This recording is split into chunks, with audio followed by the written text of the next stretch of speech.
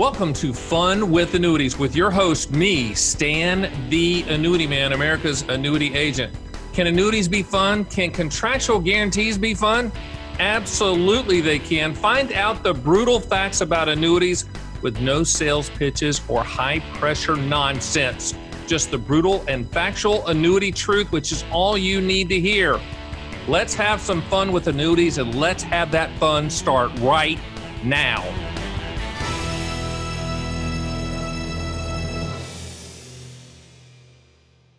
Welcome to Fun with Annuities. I'm your host, Stan, the Annuity Man, America's Annuity Agent. Glad you joined us today on all major podcast platforms.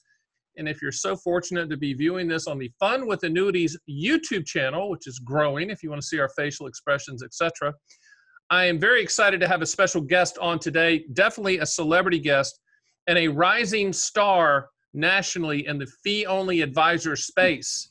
Um, he has a very extensive background with Fortune 500 companies. I've known him and his father for a long, long time. His father was also a fee only advisor. Um, his name is Adam Van Wie. Um, I'm going to have all of his information permanently on my site. He's going to have a page just like all of our celebrity guests are, have a page on theannuityman.com, and I'll have links to his site, links to his um, radio show, which is fantastic. I have been on that occasionally, but it is one of the best uh, radio shows you'll hear because it's it's factual, it's non-salesy. I mean, they really get down to it. You know, Adam, I I, was, I didn't know this, but he's a Tulane Green Wave person. The Green Wave is the is the mascot of Tulane, so he actually got a an undergraduate degree in mechanical engineering of all things from Tulane. But that should tell you kind of who he is. He's very methodical. He's very pragmatic and from a fee only advisor standpoint, you want that. Got his MBA from Emory University. I mean, he is a um, he's a star, native of Wisconsin, which makes him a cool Midwesterner. But he lives in Northeast Florida with me. You know, as you know, the annuity man is based in Las Vegas, Nevada. I spend time there, but also I have a home here in Northeast Florida. So Adam and I occasionally cross paths. With that being said, welcome Adam Van Wie to Fun with Annuities. Thanks so much for having me, Stan. I really appreciate it. Looking forward to your insights on everything. Let's just jump right in because people don't want to hear about annuities. They want to hear about you and they want to hear about your take on a lot of things. Let's jump into inflation and rising interest rates. You know, you are a fee only advisor. And for people that don't know who that, what that is, explain to them why fee only and those two words in combination makes sense and what people should be looking for for their non annuity assets. Great question. Uh, fee only really is a way of doing business that puts both your advisor and you on the same side of the table. So your goals are aligned. When you when you sell someone a product, there is a natural incentive to keep selling, and it doesn't necessarily. I'm not saying that all commissioned salesmen are bad people. I'm sure. I hope not. I'm, I'm commissioned. I'm yeah, exactly. no, I totally agree, and I know that there are tons of them out there. But if uh, there is an incentive there to sell more, mm-hmm. and that's how you grow. In our business, we grow by growing our clients' assets, which just happens to benefit them as well. So so in a way it aligns your goals with your client goals and we just felt it was the best way that we could set up our practice to to help out our clients. Totally agree with it. Let's talk about inflation adam. I'm dying to hear your take on what miss um, yellen our friend has to say about transitory inflation. At this point in time if it's transitory adam it's a long train yeah, a long train, and uh, we just saw the uh, the Fed raise 50 basis points, the the largest uh, hike in in 22 years, I believe. And what do you know? The stock market's up big, so you just never know how these things are going to go. It's been dwindling, going down every day for about four months now, and then we finally get to the big announcement, and what happens? It pops. Yep. You can't predict what's going to happen, but I think the the transitory remarks, if Yellen and Powell could go back and take those back, I have to think they would because they're looking pretty bad in hindsight. It's uh it's not been transitory at all. We hit eight and a half percent last month, and it does not look good for the future. Now, those Fed rate hikes should help that in the in the not too distant future. We're already seeing the the 30 year fixed mortgage went from three percent to almost five and a half percent, and that didn't take very long. It was it happened in less than four months. Um, so I think that we're we're seeing a, a an end in sight, but it's going to take a while to get these get inflation back down, and it's going to be a little painful while we do it. Do you think the Fed has the guts and the autonomy as they should have to not be bullied by this administration and the past one to continue to raise interest rates like they should? Uh, I think that now that Powell has more or less secured his second term, mm-hmm. that a little bit of that political pressure will ease. But I think that he waited as long as he did, in part because of the political pressure, which shouldn't affect the Fed, but in these highly charged political days, you, it's just hard to think that it didn't. Why did we wait so long? Clearly, inflation was ramping up. Clearly, to, to most people, it looked like it wasn't going to be transitory.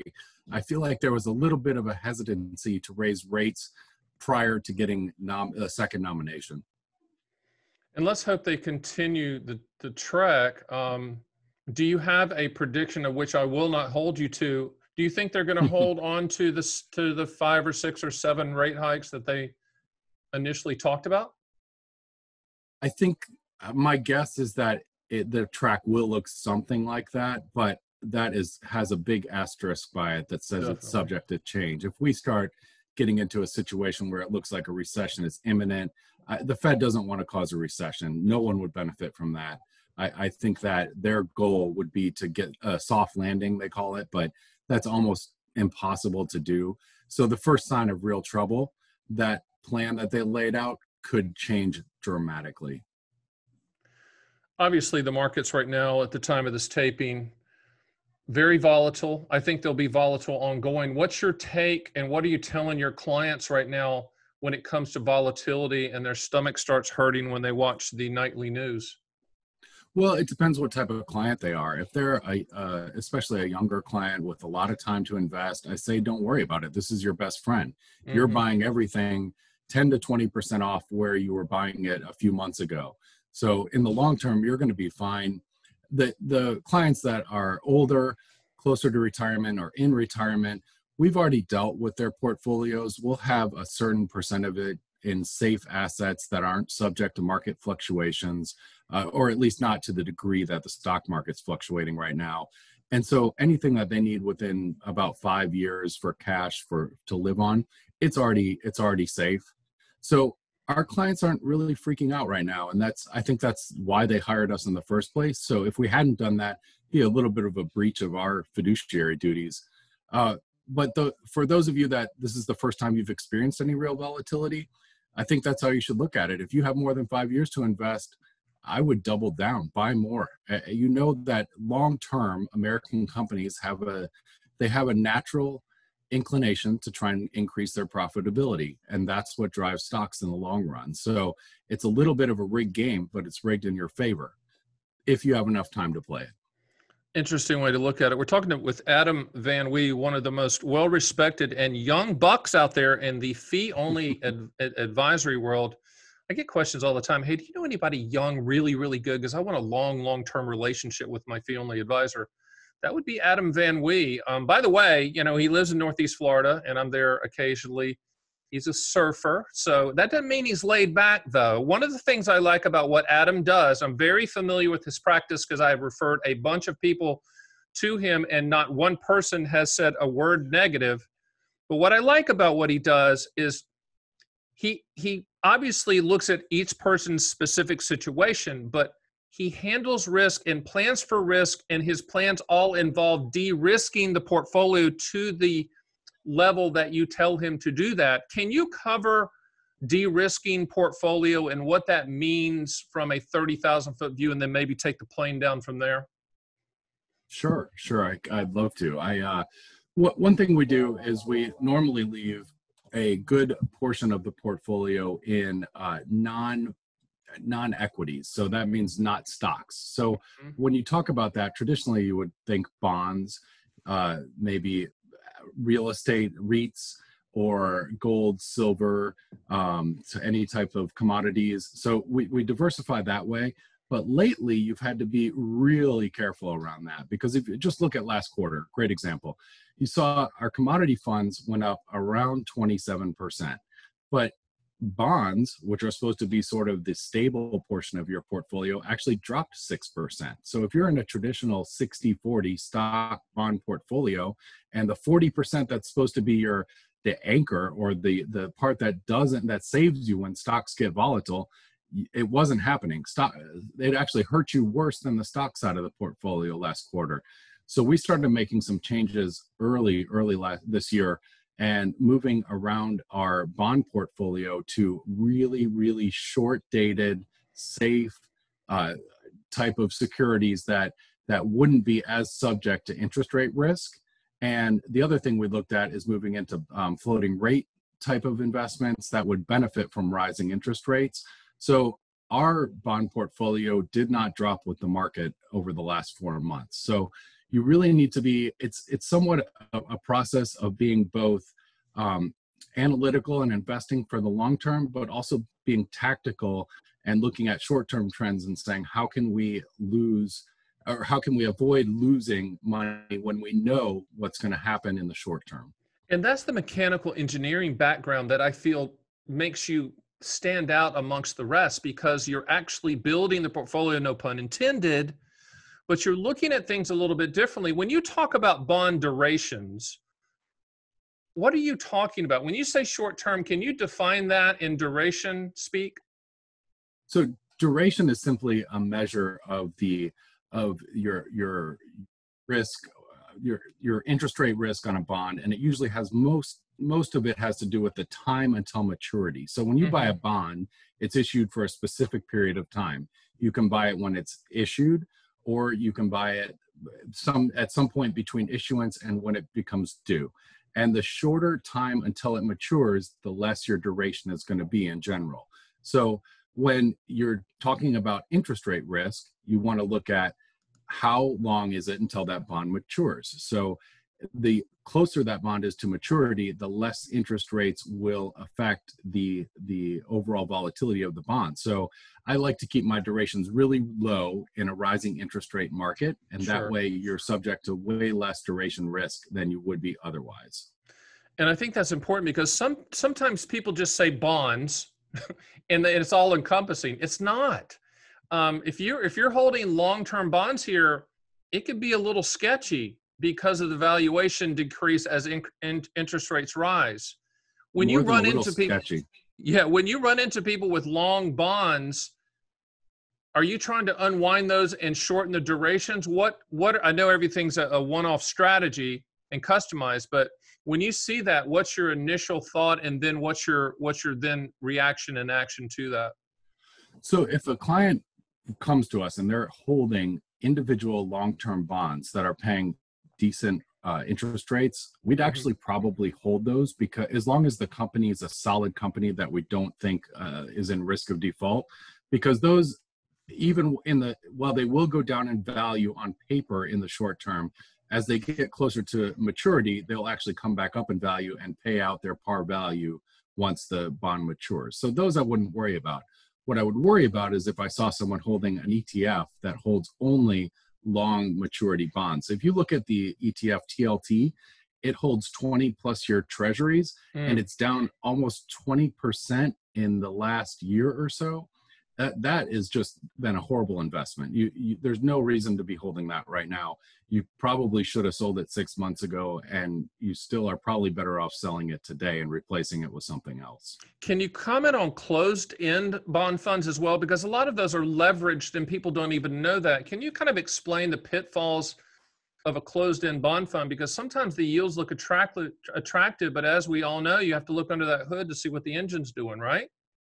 Yeah, I think with with any investment, you that's that's probably true. You should read your prospectus or at least have your advisor do it for you and make sure you know what you're getting into because yeah, there's a lot of things like that that can look very attractive in the short term, but ultimately they they may not pan out. And I think we saw this a lot with uh, uh, over the last 10 years, it's been MLPs with really high returns. It's been uh, dividend portfolios really struggled when growth was all the rage. Mm-hmm. So I think no matter what it is you're looking at, including closed-end bond funds, you should you should really look under the hood and, and figure out what it is you're holding and what will be the, not what you get in the short term, but what you get if you hold it until for the longer term with these fixed fixed investments like you know REITs and these type of things, are you very concerned when you see something from a from a liquidity standpoint? Because a lot of times these really attractive yields, whether it's um, you know what, whatever it is, REITs, whatever, sometimes there's some liquidity provisions that can be prohibitive. Can you comment on that? we i've never run into that personally but i know that my dad and some of his colleagues have they mm-hmm. they had they had a problem with this um, probably 10 or 15 years ago that's old with, guys man. That's old guy stuff. Yeah exactly. Yeah I, I, I easily could have had i been in the business already but i've, I've i'm only on year eight so i, I just missed out on all the fun. Um, the uh, but yes that is a real problem. So if you have a especially with a private reit if um, if there's a run on people trying to get out and the company yep. can't cover the cash flow going out you're going to be in serious trouble and private REITs are something that we stay away from although i'm not saying that all of them are bad it's just not for us. The liquidity issues are too much of a risk for what we do. But you know if it's if it's in your wheelhouse and you're a you're a wealthy investor and that's something that you're interested in do your due diligence and I'm, there are lots of good ones out there. We just don't use them. We're talking to Adam Van Wie, and he does a lot of things. And he's um, fee only, but he does comprehensive financial planning. He does issue based consulting. If you have something specific for him to look at, and you know, obviously focused on asset allocation and management services to his clients. Um, you know, once you walk into Adam's office and his team starts working with you, um, I can't imagine what his retention rate is, but it's pretty darn good because you know that that side of the ledger is fully taken care of for sure. With that being said, Adam, and you know everybody has their little political animal and where they're where they're leaning both left and right, and we both have clients that are both Democrat and Republican, Libertarian, you know, uh, non-existent, don't vote for anybody. But talk about without getting on one side of the table the other. Can you talk about how politics affect the markets because you know people that are addicted to cable news think that it moves everything but if you look at it right. you know there's only what a million or 2 million or 3 million people on the top rated shows out of 300 million people watching it but let's talk about politics how does it affect the markets in your opinion yeah so that's a it's so true that we get so many clients or potential clients coming in and asking about oh no, so and so got elected. Is my portfolio going to go down? Is it going to pop? And the answer is they, the market doesn't care. The market has gone up historically under both sides, uh, Republican and Democrat. It it really isn't as related as people think. Now, there are specific policies that one side will do that will affect certain investments and vice versa. So when I think a great example right now is you look at the price of oil there are that's definitely been affected by the policies of the new administration whether mm-hmm. you agree with it or not it, it's it just is and it's uh, so there's a direct correlation between those two. Now i don't it doesn't matter to me which administration is in power. I want to know what's going to happen with energy stocks. So if the price of oil goes up energy stocks are going to do well and that's something that you might want to take a look at as an investor. So to some degree politics does affect your money but it's not nearly as much as people think. And really, the one thing that the politicians do have control over is your taxes. So when you see new tax policy passing through Congress, that can really affect your bottom line, and that you need to pay attention to. It doesn't look like there's going to be any significant tax policy changes in this year mm-hmm. or probably in the next few years. So the current tax policy policy should stay in place and that makes it a lot easier to plan for your next uh, for next April. So uh, I'm I'm very fortunate, or I feel very lucky that that is the case because it makes my job a lot easier when trying to do tax planning when I know what to expect. And we've talked about this before. I mean, planning is personal. Planning is customizable. Planning is about the person's specific situation. I know for you and your beautiful wife Jessica and your two, two lovely young children, planning is about you guys. Planning is about your life. Same thing with me, with my two daughters and my wife Christine. It's about our specific situation. Is it hard to get people to realize how customized this is from the standpoint of how you invest their money based upon the risk tolerances they provide and the answers they give you and the goals they lay out?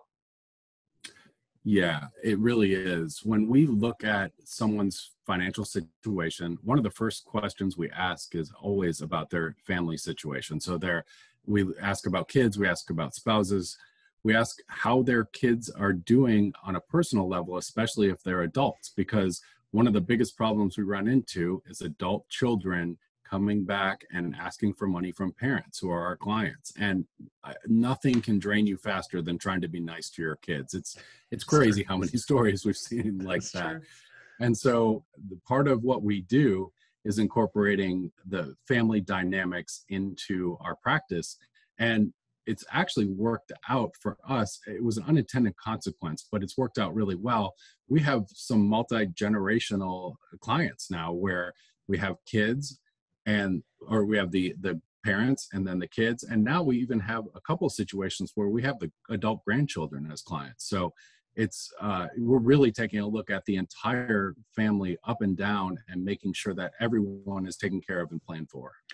And that's the reason i wanted to have you on um, is because i want my clients and listeners to consider using your services for a continuation plan of the financial plan so you're going to be here a while. God willing, we'll both be oh, yeah. here. But you're young.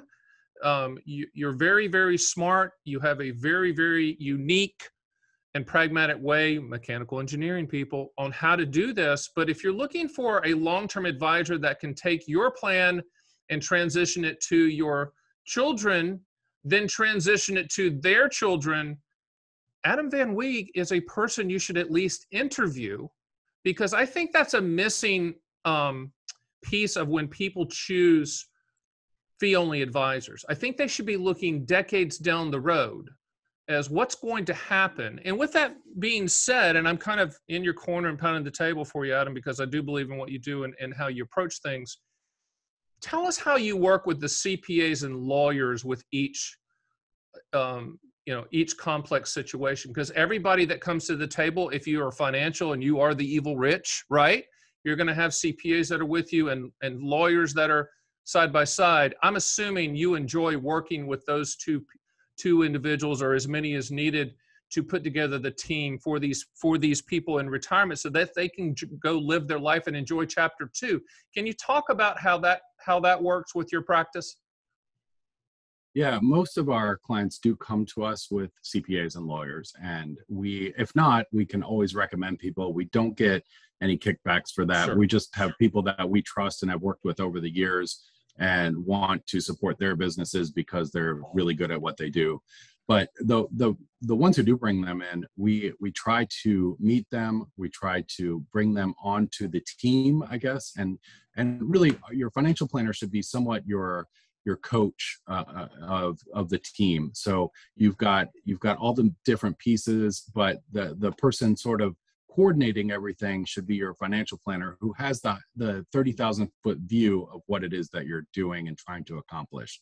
When it gets to specifics of, of drawing up a will or a trust, I, I can't do that. I'm not a lawyer, but I certainly know what most of my clients want.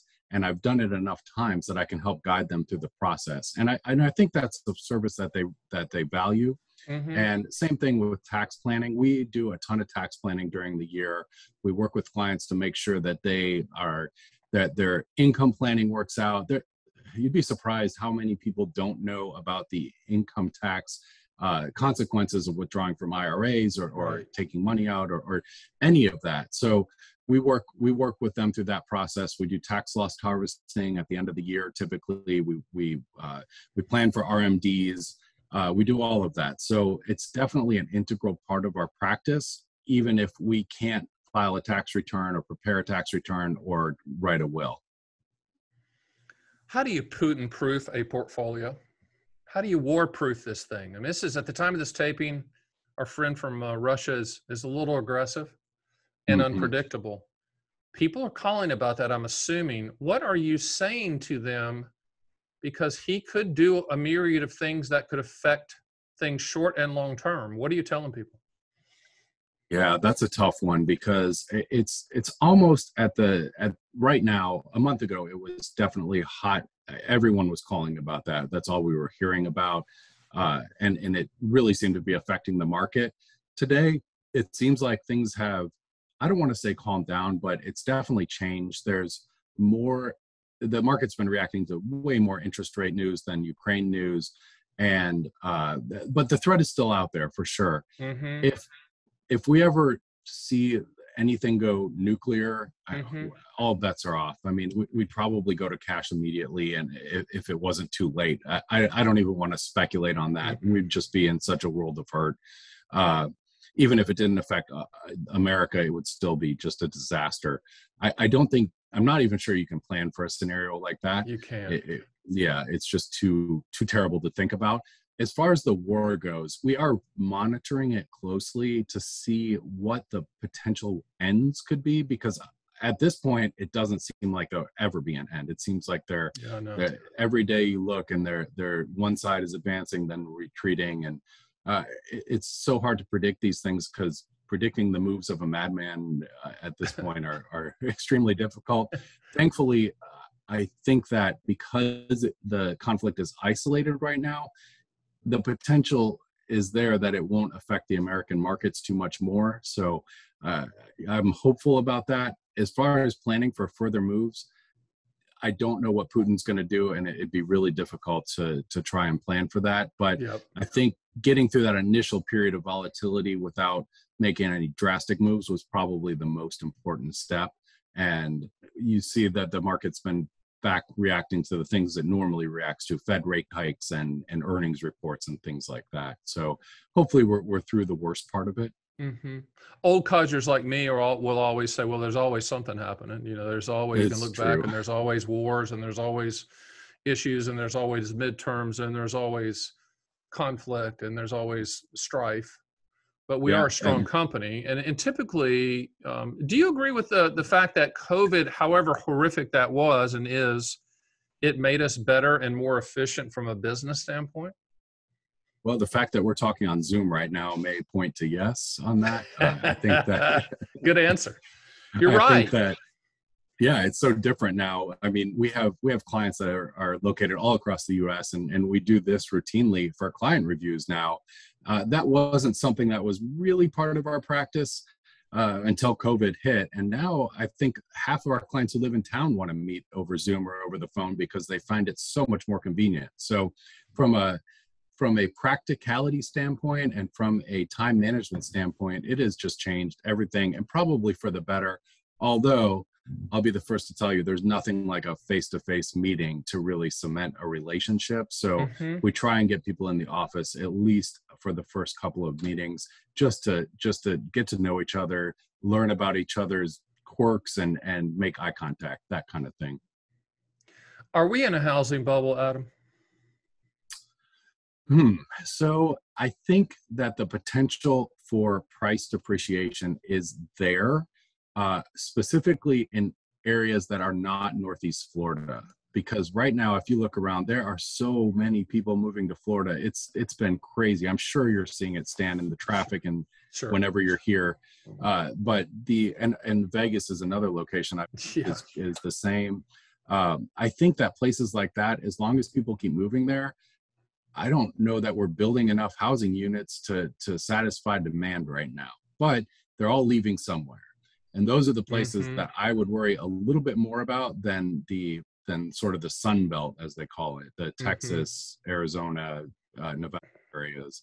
So I, I think that the potential exists. I don't think that it's going to. I, I doubt that we'll see another big burst. We just saw one in the last decade or so, and uh, it, it's unlikely that it would happen exactly like it did last time. But Mhm. could prices go down? Heck yeah, prices can go down. People think housing always goes up, and that is not right at all. It is true, and and um, you know, I have a place here in Northeast Florida near near Adam, and you know, people are offering crazy amounts of money for houses, but I told my wife I'm too lazy to move. that means I'd have to pack everything up. Um, but I, I, agree with you. I think there's an inventory issue that has to be resolved, and it's going to take a while to resolve that. And as long as inflation and the distribution issues are there, that's going to do nothing but compound and get and get worse from the standpoint of people trying to get into new houses, etc. I do think there's some challenges there, um, you know, going forward. Dying to ask you the next next question, which is about crypto. Um, you know, obviously, I believe in the blockchain technology because that doesn't involve just crypto. Crypto rides on top of blockchain technology. Blockchain technology is legitimate and used in all kinds of you know, car manufacturing, healthcare services, etc. But what's your take on the? Some people call it the tulip bulb stuff. If you don't know what I'm talking about about tulip bulb, look it up, Google it. What do you think about crypto right here? Forget Bitcoin, crypto as a category. Sure. I, I, agree. I couldn't agree with you more about the blockchain technology. I think that's. I think we're just touching the surface on that right now. I think I it's going to go a lot further, and uh, maybe even be the next big thing. I'm not. I'm. Who am I to guess at that? I'm not a. I'm not a tech uh, genius by any stretch, but I do like the technology it's built on, and and I think there's applications for it that we haven't begun to touch as far as crypto goes, if you want to, if you're a client of mine and you want to open a Coinbase account and trade crypto, go for it, and you can afford it, and you you don't, you know. But I would not risk more than you're willing to lose all of. So, it's it's just something that that we don't look at as an investable asset class yet. And the reason for that is I just can't value it. When I look at, say, Walmart, they have cash flow they have physical mm-hmm. inventory they have buildings. I can put a value on all of that. When i look at crypto the value is what the what everyone decides that they're willing to pay the, what the, whatever the market makes it. And but i can't value it because i there's no process in place for me to do that. So for my clients that's not something that we're putting our money into. I, am not saying it's a bad investment. I'm not saying it's a good investment. I just don't know because I can't determine the value. I guess the question from that is is it an investment? Uh, for some, a lot of people consider it. A lot of smart people consider it. I know. yeah. And so the Peter Thiels of the world and the, and the really smart people, and I'm sure they're right and we're wrong. And I'm sure Buffett's wrong and his, you know, Charlie, his compatriot at uh, Berkshire is wrong, but they came out strongly recently about they did Bitcoin. I'm not sure I'd be that strong about it.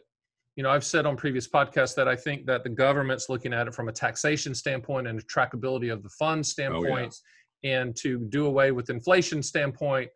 That scares me. Obviously, that uh, you know we're talking about the United States government handling crypto, but I think it's eventual. Do you do you see the government tiptoeing into this space and then creeping in larger as time goes on? Absolutely. Anytime there's a source of potential untaxed revenue or capital gains, they're going to be all over it, and they are. They're they're that's definitely on their radar, and they're already making moves to get it uh, get it further under their scrutiny. So, if you have large gains in crypto you've never paid taxes on, look out. I, I think it's coming. I do too. I mean, if they're talking about taxing unrealized gains, which could be the dumbest idea I've ever heard, that's as dumb as me wearing high heels to play basketball. Maybe it's dumber. I'm not sure, Adam. We got to think about that for a second. But anyway, from a vi- from a visual standpoint, I just did a visual on that. Man, that's not pretty. But no. but but I just, you know, it it's disturbing kind of where this is where this is all headed um, from the standpoint of taxation. Obviously, when we print money like we've printed, they're going to have to tax somebody. And uh, you know, once they start talking about billionaires tax, they're looking at you as well out of the left eye, there as they're looking to the right eye to the billionaires. With that being said, as people walk into your office this year, um, and we're we're taping this for you people down the road. We're taping this in 2022 um, what are people asking? What's a consistent theme of concerns, or is it just the same old thing, different year? No, it's a different thing, different year, but it's the same themes. It's uh, with our with our older clients, it's always where are we headed? I don't like where we're and it doesn't matter what side of the aisle you're on. It's it's both sides that ask right. that question. Um, but i always tell them that you know your parents said the same thing. I worry about the next generation and their parents said the same thing. I worry about the next generation. And so as unique as it feels to your your experience it's really not. It's different because it's it's it's the time is now and and and the the issues are slightly different and the technology is different. But every generation worries about what's coming after them and all the change and and that type of thing. And the the fact is america has always found a way through these difficult times. We've been in this mm-hmm. before. Uh, we made it through the, the 60s and 70s there was some some real problems back then especially when you got into the 70s with inflation and but good music but very good music adam. I excellent mean, music no doubt about it. Yeah and i'm not even going to comment about today's stuff but exactly. that, yeah so it's uh but every every generation says that about too that our music was better than what, what came after so so you've got you've kind of got this recurring theme that nobody nobody thinks about when they're saying these things, but every generation says it, and we've always made it through. It would be a surprise if this was the first time in history that had not been true. I would be shocked. I think we're going to be just fine. I know I'm raising my kids to to take the torch from me, and I'm sure you're doing the same, Stan and uh, and and all of our all of our peers are as well. So I think we're going to be okay. But that's a question I get all the time, and I kind of give that same speech, and people either agree with it or think I'm crazy. And either way, I I I still believe it. Are there any unique hurdles for retirees at this time? I think that being in a coming out of a 10 year zero interest rate environment is somewhat unique. I don't think that we've ever been in that exact situation before. It was great for equities. It was mm-hmm. not great to be an older person who didn't want to take any risk. You couldn't buy a CD, you couldn't buy a bond that paid anything.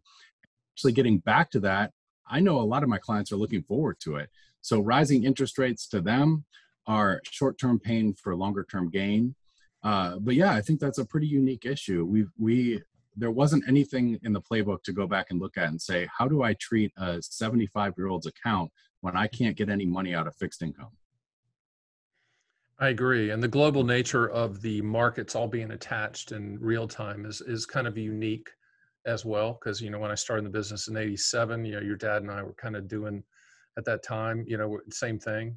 And by the way, um, Adam's father, Steve Wie, is still his co host on his radio show, and it's one of the best. And they had their uh, on their site, which we'll have a link to their recordings of their radio show. But it's great. They take calls and and it's it's one of the best shows I think in the country, but just happens to be here in Northeast Florida. Um, for the person out there that that's interviewing you, or maybe they say, you know what, I don't want to interview him. I want to stay with my brother-in-law, the advisor, or my brother-in-law, or my my sister's son, the advisor, or this guy that I like playing golf with as an advisor for those people that don't want to interview and don't want to change, what are some of the questions that you would have them ask those advisors to hold their feet to the fire better than they are right now? I think there's a couple of keywords that you need to ask your advisor, and if if they answer correctly, they'll be very enthusiastic about giving you the right answer. And the first one is, "Are you a fiduciary?" and all that means is do you have to put your my best interest ahead of yours if if i'm asking as the as the client and to us that just seems such to be such a simple concept why mm-hmm. would you mm-hmm. not put your client's best interest ahead of yours how else are you going to get referrals and grow your business if you're consistently putting your own your own it ain't gonna end well it ain't gonna end well man i know you're you feel the same stan yes. we've had that talk many yeah. times uh, but ask if they're a fiduciary if they are they will gladly tell you yes mm-hmm. the next thing is i would ask how much they're getting paid every quarter we send out a statement says exactly what we got paid. So if anyone ever feels like they're getting ripped off from us they can at least come and show us the invoice and tell us why and we can have that discussion. But we're not hiding how much we get paid in backdoor deals and getting uh, paid to hold certain funds in their account. Which none of that exists with him so none of that stuff. No nope. I mean, so that's that's something that if you're if you're fee only that's something that should be very transparent and why would you hide what you make from from your own client unless you're not proud of what the work you've done And so I think those are the two key things: being a fiduciary, being fee fee only, and if you're not fee only, how do you get compensated and how much? It really is that basic. And with that being said, um, I came from that model of brokerage firms with the big marble offices and the big towers, you know, Dean Witter and PaineWebber and UBS and Morgan Stanley, or as I like to call it, Morgan Stanley. Do you think, and no offense to people out there working there, because I still have friends in that space, but do you think that is a broken business model in the future? Because it's gonna, it's hard for me to envision younger people adapting to that type of transactional model. Do you agree with me on that, or do you have a different insight? I think that I think that you're probably correct about that. I don't think it's going away anytime soon, but there has been a clear trend of firms and teams breaking away from the large wirehouses and going to RIAs and it I I haven't seen it slowing down at all recently. It mm-hmm. seems like every other day there's an article about a, a 500 million dollar or billion dollar team that leaves one of the big places and either joins a smaller firm or or breaks off or or does something of that nature and it doesn't seem to go the other way very often. So if that's any kind of indication i would say you're exactly right. Yeah, and I think a lot of that has to do with, and I'm not going to mention one of the firms that that was my final exit out of the building is when they started dictating um, kind of the ratio of things that we had to sell, whether we wanted to sell them or not. And that wasn't the way that I entered the business where it was completely autonomous. You could build your book of business however you wanted to. I chose municipal bonds and did that, but I don't think you could do that anymore. Number one, a lot of municipal bond offerings aren't available. But, um, you know, uh, it is what it is. Um, I think that people, we are in a do it yourselfer type mode. I know my business model is a direct to consumer, do it yourself or run your own quotes. We're the middleman to get you that highest contractual guarantee. But obviously, annuities aren't for everybody. And even if they are, you have to put them in proportion and allocate them properly. But how does a do it yourselfer, the self proclaimed A personality, pound the table person listening and viewing this, listening to the podcast or viewing it on the Fun with Annuities YouTube channel, can is there and i hate to use this word hybrid model of do it yourselfer working with a fee only adam Van Wie? there to some degree there is but okay. it's our our business model really is not for the do-it-yourselfer and i am 100% supportive of the do-it-yourselfer if you if someone comes to us and wants to meet with us and decides that they want to do it on their own, I'll even give them some advice and and tell them what I would and would not do in their situation. That is fine with me. We're, our business is not for everyone, and everyone does not need us, so that's okay. But if somebody does want to work with us, we do have some smaller clients that uh, pay us a monthly fee, and they they utilize us as sort of a sounding board, and we give them advice but we don't manage all of their assets. a lot of their money's in a 401k anyway. Okay. And um, that's a relatively newer concept introduced by, I don't know if it was introduced by Michael Kitces, but he made it quite famous. He's a he's a bigwig in, in the RIA space. He is, and we've had our battles. Michael and I have had our had okay. our battles on some things, but I I, I did not totally yeah I totally respect what he says about financial planning. Yeah, he said some um, uninformed things about annuities, which is fine because okay. he's he's got his own he's got his own reason to point people to what he's doing. But anytime someone steps out and is not factual about annuities, I'm going to have to call them out. I did one recently on Mr. Dave Ramsey, who did a video on annuities that was mm-hmm. so horrific. It would be like Adam would be like me doing one on ballet. Um, and I know nothing about ballet. Mm-hmm. So that's the that's the uh, you know that's the, the issue out there there's a lot of mis- misinformation not only in the annuity space but the financial planning space. Um, there's a lot of noise. How do people um, prevent themselves from falling for the advice the, the slick advisor the the too good to be true stuff that's out there? Um, i'm not saying the bad chicken dinner seminars from the annuity standpoint but there's a lot of bad advice seminar type stuff that's out there in the non-annuity space. Um, there is. How are you? What's your thought on that? Obviously, you're you're you're like me. You don't like it, but how do you explain it to people and ground them into making a better decision and not falling for those things? Because as I tell people, in retirement, there's no mulligans. Mulligan is you right. get to you hit the bug in the golf, you hit the ball in the water, you say, "Yeah, I'm going to hit another ball." No, there's no other ball. How do you no, how do you get people from not having to try to take a mulligan? You're out of money you're either out of money or you're going back to work and that's not what any retiree wants to hear. So you're you're exactly right about that no mulligans. And if you are sitting in in front of an advisor who is promising you uh, returns that don't sound right and he won't be specific about how he's going to get them or she won't be specific about she's going how she's going to get them and it just doesn't feel right run. Don't walk run away from that. It's it, it, we see it just entirely too often mm-hmm. and it doesn't even matter what the presentation is whether it's a dinner or just a one-on-one meeting but when whenever you hear especially in finance that something that is promising 18% returns with no risk that is it's you just know it's a scam. You know it is. Sure. Trust your gut it's it's not that hard.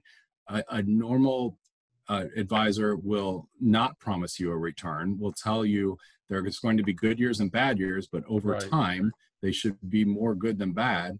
And it just it's usually it's almost always follows the same pattern of low risk high reward and if you put your money with me we'll get you x y and z and then serve it on a silver platter. And it never ends up well for the investor and full disclosure adam and i are on a constant search for the um, pill that we can take to to create the six pack abs we once had. Adam has yet to find it. I'm still looking. So if anyone has that out there, but that's what we're talking about. You know, Adam, you worked for Fortune 500 companies um, a while back before you made the decision to help people um, with their finances in retirement. What was the what was the fork in the road moment that brought you to that point? oddly enough, it was actually 2008. If you remember 2008, it was not a great year in the market. and no. I had was fortunate enough to have had a, a, very good job at that time, which I actually kept. And it was surprised. I was surprised every day that I still had a job. My 401k, I just hit a huge milestone in it. And then about six months later, I opened my statement and it was half. And mm-hmm. I called my mm-hmm. dad. I was distraught what do I do? It was the most money I'd ever had. I, I can't believe this happened. Am I, am I, what mistakes did I make? And he said, don't worry about it. Is it in the S&P 500? He said, yes. He said, double down, max your 401k, do it right now. And I did. I took his advice. And before I knew it, not only had I surpassed my previous goal, but or level, but so far beyond it because I had accumulated so many shares at a low price, and it just really taught me the power of of long-term investing and buying the dip and all of the important lessons that that people people their natural inclination is to sell high or, or to sorry to sell low and buy high eh, mm-hmm. because it, it because they sell out of fear and they buy out of greed and that's the exact wrong way to do it. You need to you need to buy when there's blood in the streets uh, and that is the way to do it. And that was the moment that i realized that i wanted to go work with him and i started studying for my cfp mm-hmm. and eventually passed the test and joined him. Which was a great move for everybody involved and i'm glad you, you did it. What makes you get up in the morning? What makes you passionate to know that this is what you are put on the planet to do and that you're going to be doing this long term what is that light that drives you? I think i have the best job in the world. I, I, really do. I get to help people. I get to deal with money which has always been a passion of mine. Every day is different and i don't get bored at work. I love going to my job.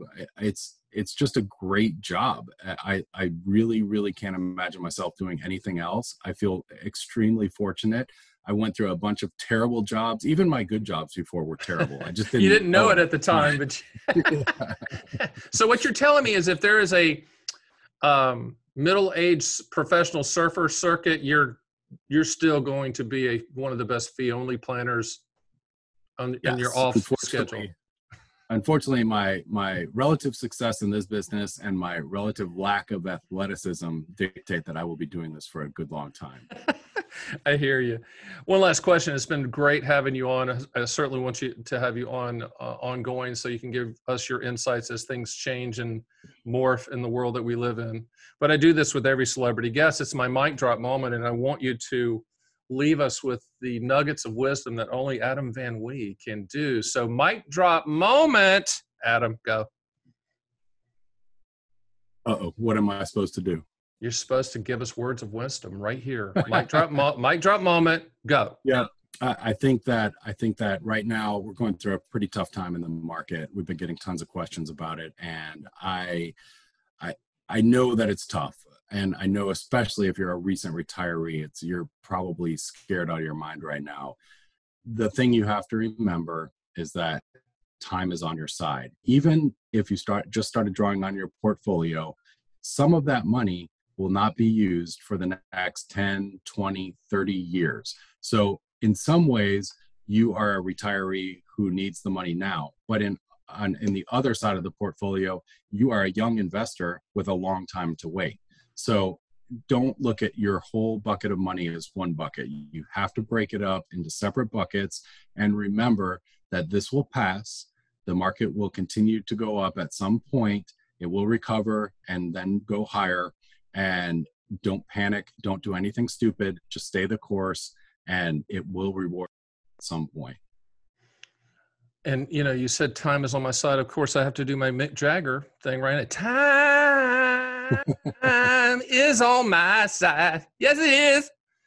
I think that's enough right there. That's that now you know why i'm the annuity man and not uh, lead singer of a very good rock band. But uh, Adam, thank you so much for being on. I want to thank everybody on all the major podcast platforms and the Fun with Annuities YouTube channel, making us one of the fastest growing financial podcasts on the planet, if you can believe that. But the reason is we bring on people like Adam, who's very, very smart, and we don't talk about annuities most of the time, which is the key to podcast success. And with that being said, thank you for joining Fun with Annuities, and I will see you next week. Thanks for listening to Fun with Annuities. Please hit the subscribe button and make sure to go to my site at theannuityman.com where you can run your own SPIA, DIA, and QLAC quotes and see a live feed of the best MYGA fixed rates in the country and even get indexed and income rider quotes as well. You can also sign up for my six annuity owner's manual books and I'll ship them for free and under no obligation. I also encourage you to schedule a one on one call with me, Stan the Annuity Man, so we can have a full discussion of your specific situation. It will be the best, brutally factual, and truthful advice you will ever get. And that's one guarantee you should definitely take advantage of. So join me next time for the number one annuity podcast on the planet Fun with Annuities.